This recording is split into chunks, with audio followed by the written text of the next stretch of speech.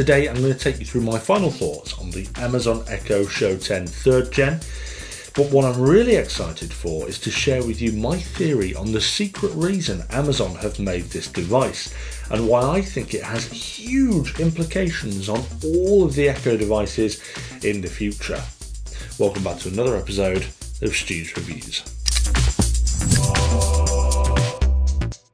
This is the first version of what I think is Amazon's first home robot, and it is slightly unnerving as I experienced in my unboxing episode of the Echo Show 10 that I did earlier on this week, and you can check that out at the links below.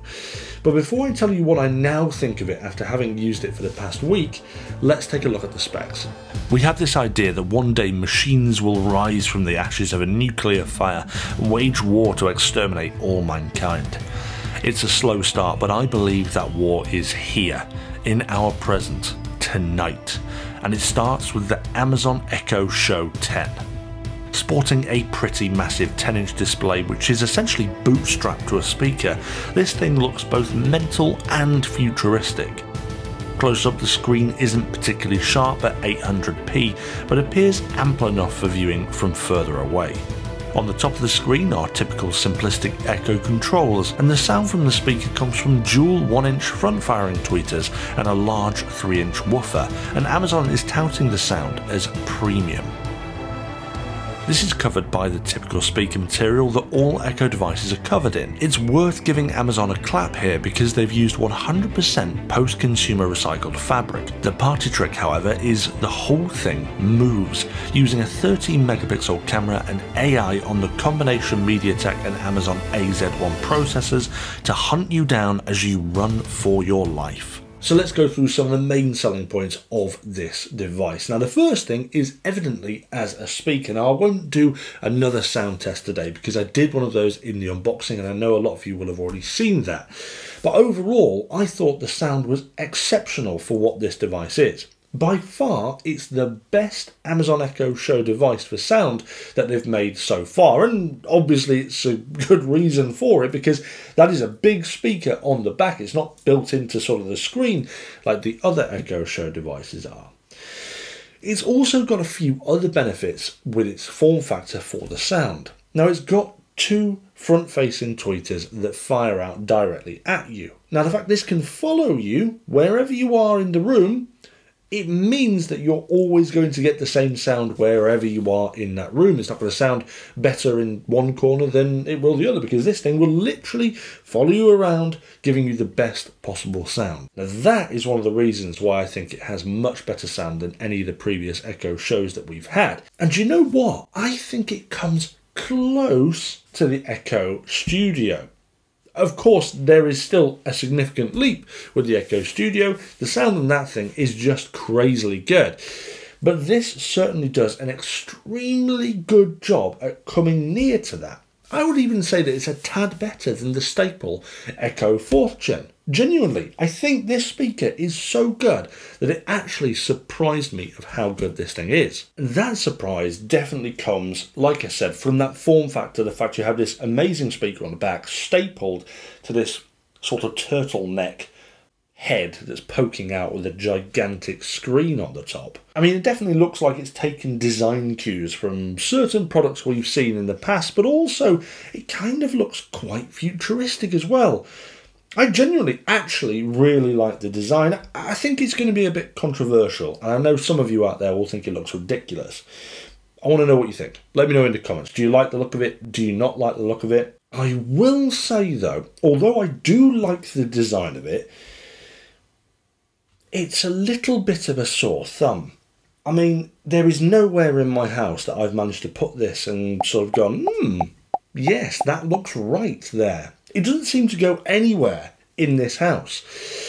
That might be because I have a more rustic and oldie worldy aesthetic everywhere, but that could also be the fact that this really does look super futuristic. And only those with futuristic houses may get away with this. Potentially the black version might go a little bit better and look a little bit less stand out against everything else, but certainly the white version doesn't do itself any favours if it's trying to blend in. The interface itself is pretty much the exact same as all the other Echo Show devices that have been and gone already, but for the benefit of those that haven't used it, it's pretty straightforward. You can swipe to access a few other things such as the news or control of your smart home, but that's pretty much it. These devices are more kind of informative than interactive. You're not supposed to use this as a tablet, for example. But overall, I felt that it's a little bit snappier than in the past. Potentially that's because of the AZ1 chip inside here, which is supposed to make things a bit snappier. It's also supposed to make Alexa a bit snappier as well. However, and this is a big however, the AZ1 chip is not activated in the UK for use with the Amazon Echo voice service. And that means I haven't been able to test out whether or not this thing actually is snappier at responding to my requests.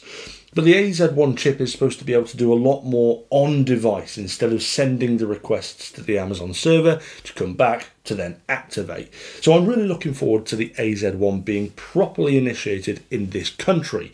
I mean, they're in the devices, so all we have to do is flick a switch. Just press the switch, please. But the fact they've included that AZ1 chip fits into my theory at the very end, so stick with me. Now, the last thing we need to talk about really is the robotic features of this device. Now, this to me is the main selling point of the Amazon Echo Show 10 third generation because this is the thing that hasn't been in any Amazon device that I've seen so far. It works extremely well, in my opinion, and this isn't something I've experienced from this type of product category ever. I mean, I've seen this sort of thing in camera gimbals before where you can get your camera to follow you, but never in something that is actually displaying a screen to me. So, this to me was a really unique and innovative product that I was just wowed at. Back in my unboxing, I just uh, was disbelieved. I didn't really know what to say because it is a very surprising but interesting product indeed. But just because it works well some of the time does not mean it works well all of the time. It definitely isn't without its hiccups. First of all, all of the tracking is done via the camera in the top right of the screen. Now, this uses an AI vision sort of service to track where you are, so it is relying on the quality of that camera and the positioning of that camera. There's been numerous times where I've woken her up and she's turned to face me, but she's sort of turned like that, sort of squinting at me like that. I think that's probably because she is one eyed and she can't quite grasp where I am. I don't know the reason definitely. It could be that where I spoke to her, there was a light behind me and she struggled to pick me out against that. I don't know. All I know is that occasionally it doesn't always turn exactly to you and is slightly off centered. This may have been able to be fixed if that camera was in the center. Also, the camera being on the right hand side really does trigger my OCD. I think it looks a bit strange.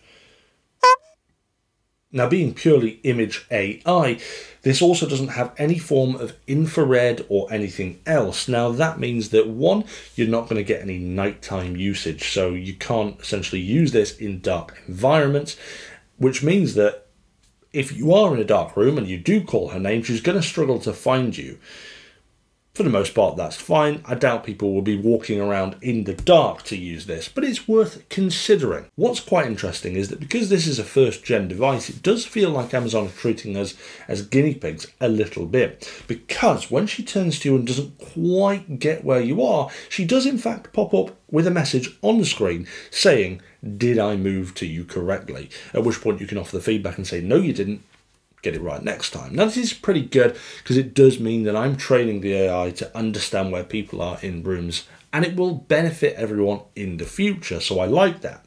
Now, it's also worth pointing out that the movement is completely silent.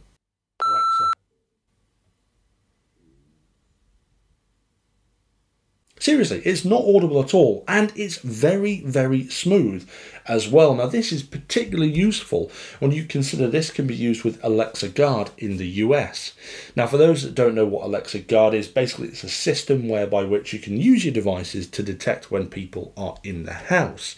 Now, with the Echo Show 10, it can actually pan periodically around your rooms, and if it catches someone on the camera when there's not supposed to be anyone there, it will alert you. Now, this is awesome. However, this isn't available in the UK. Annoyingly, it was available for a couple of weeks over the summer and then got removed. So, another thing, Amazon, just press the switch. Come on.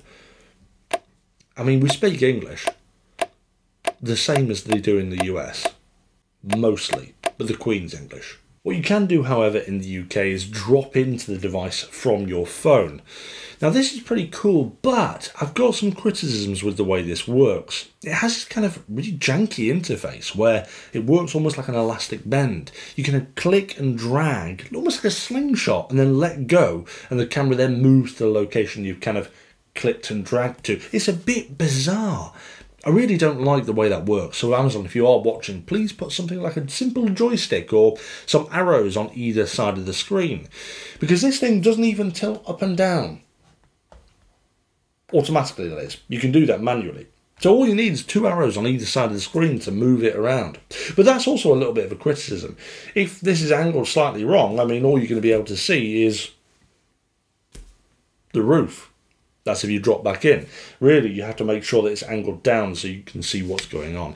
Now, for those worried about their privacy, actually, this has a little thing on the top. You can flick that and it disables the camera Nobody can see out of that. So that's pretty good that that is included because those concerned about privacy will be very appreciative of the ability to do that. But obviously, with that across, because like I said, it uses AI to track you through the image, you are not going to be able to use that motion capability, which is a bit of a shame, but a sacrifice you'll need to make if you don't want that camera activated overall, from a robotics standpoint, I think this is a great start. I'm truly impressed with how good this actually is, and although I do talk about the occasions where it hasn't worked, for the most part, 95 to 98% of the time, this has worked seamlessly, and I've been very, very impressed.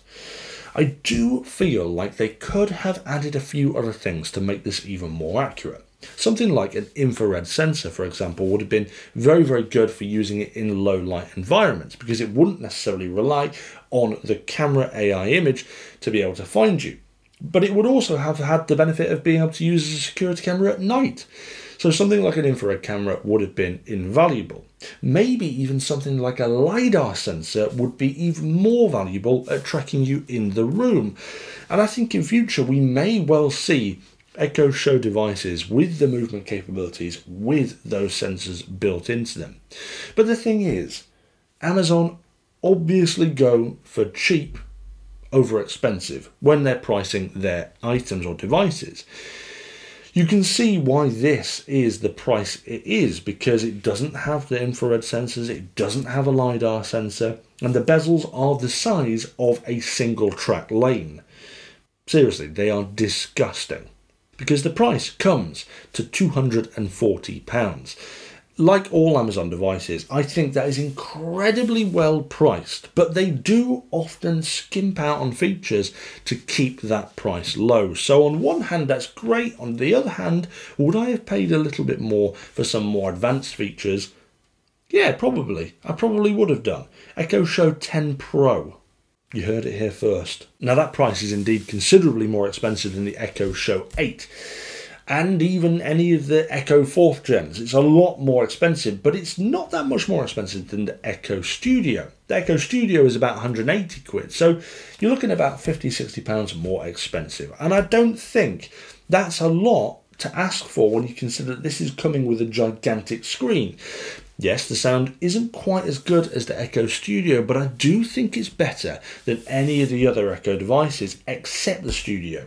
So for me, 240 quid I think is extremely reasonable for this brand new futuristic early thinking piece of technology. I mean just look at it. It is it's insane. It is utterly insane and I love it. But the big question is do I think this will be included in my home setup? Do I think this will be in my smart home permanently? And the answer is possibly a surprising no. Despite the fact that I absolutely love it and that I think it's really forward thinking, and I think that this has some huge implication for what's next, and we'll talk more about that in just a second. I still don't think that this fits a need for me that I have. If maybe it was a better security camera, it could work as night vision. It had The UK, we might be having a slightly different conversation right now, and I might indeed be saying that this will be finding a permanent place in my house. But the fact it doesn't have that, and the fact that I live in a relatively small house where the rooms can easily be captured by a one directional camera, I don't think I've got a need for this. If I had a bigger kitchen, again, I would probably find it really useful. And I think this is it. In certain use cases, this is going to be invaluable. Maybe you live in a big family house with a massive kitchen and you want to be able to move this around a kitchen like this so you can see grandma at all times when you're talking to her. Or you're in a workshop looking at tutorials and it's a big place and you've got it need you need this to follow you around. Or maybe you have lots of conferences and you want people to be in meetings with you 24 7 and follow you around to the toilet, then this is ideal. But for me, I just don't see quite where it fits in my whole smart home setup. But that does not stop this from being what I think the future of all Echo devices will be. I was on a podcast recently, the Smart Home Collective, with another YouTuber, Mark from Technology for Life. I'll leave his link in the description so you can check him out. But we spoke about smart home technology and innovation in this particular category, and this came up. And I said at the time that I thought this was quite an innovative product and something that we've never really seen in this particular category before. But I didn't actually realize how innovative this thing is and how much it implicates the future.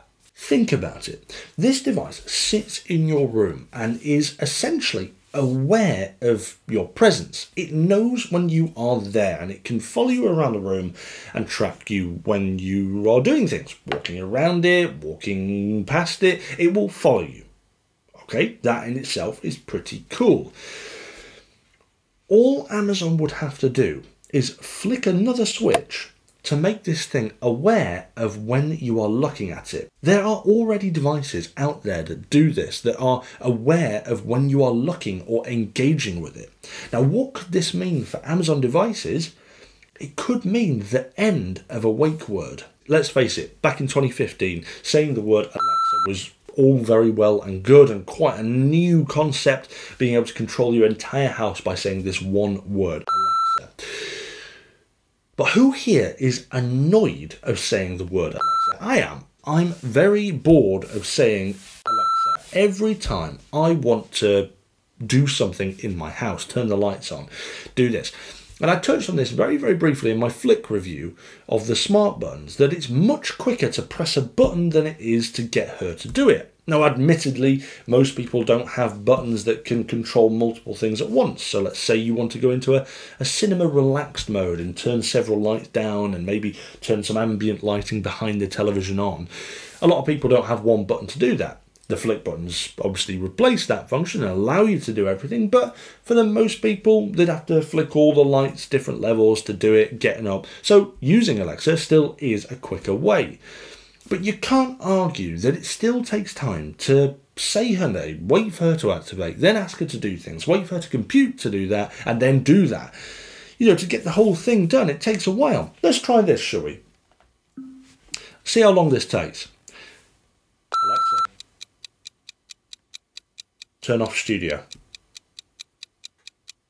Okay.